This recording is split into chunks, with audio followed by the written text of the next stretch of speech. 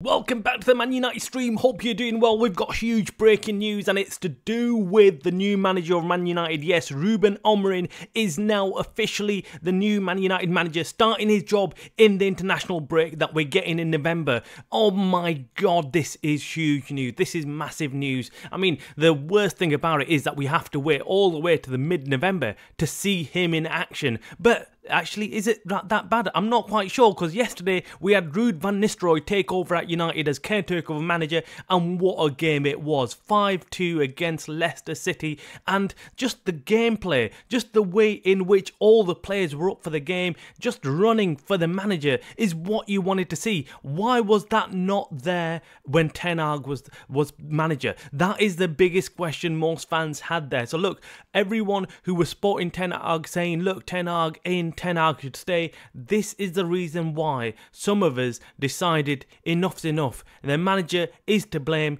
and someone has to give way. Either the players have to leave or the manager has to go. It's easier to get rid of the manager and start the rebuild that way than to just get rid of your entire squad. That is our thought process on this. I know, I know there'll be lots of you out there who probably don't agree with this, who probably feel that the manager should always stay in his job and we should have continued with Ten Hag and we should have sorted the players out. But that was going to be a long, hard struggle. And Ten Hag, we all knew, was not good at man management. And these days, football is all about man managing. You know, getting along with the players, making sure that they fulfill their potential, making sure they're happy.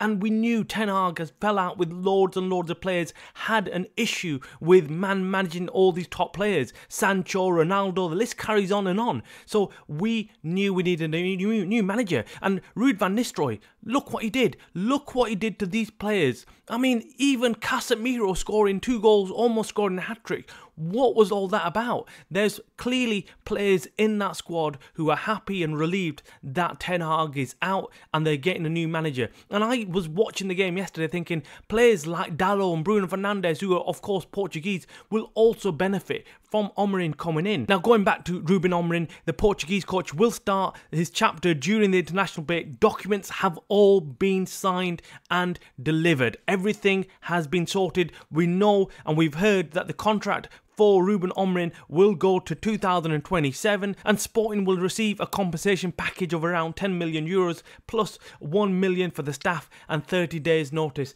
That is what we're hearing. This is great news for Man United having gone out there and secured the new manager and this manager let it be known everybody had tapped onto this manager they were all tracking him all the clubs all the big clubs in Europe wanted Ruben Amorim I mean we're talking about Liverpool we're talking about Man City as well who were all had made inquiries with him and were waiting for the right time to go in and get him this is fantastic news for Man United what do you think of this drop your comments below are you happy with the new signing of the new manager, or do you think someone else would have been better players to take over at United? Maybe even Ruud van Nistelrooy. Drop your comments below. Let us know what you think. Make sure you hit the like button on this video. Make sure you subscribe. You're watching the Man United Stream channel.